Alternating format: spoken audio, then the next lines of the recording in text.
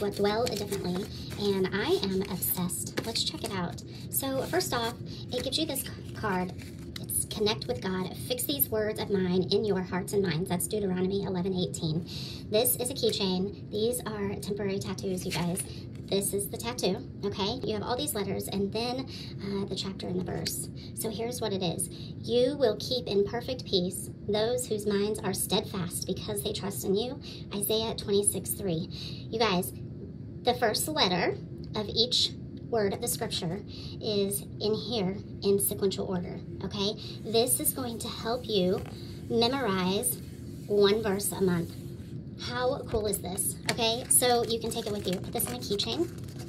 Put it on a keychain wherever you want. It has the scripture right there, and it has the tattoo there. And then wear it, share it. You guys, you have four tattoos. Four tattoos. You can wear a couple. Okay, I'm gonna put mine on probably right here so I see it all the time.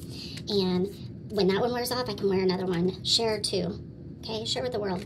I think this is the coolest way to memorize scripture. Let's look at how easy these are to apply.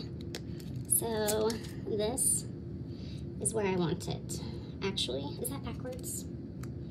There we go. That, that was upside down. I want it this way so I can see it. Okay. Get a damp cloth.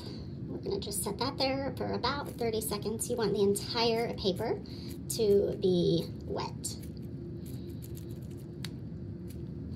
Looky there. That probably wasn't 30 seconds, but looky there. I have scripture on me now.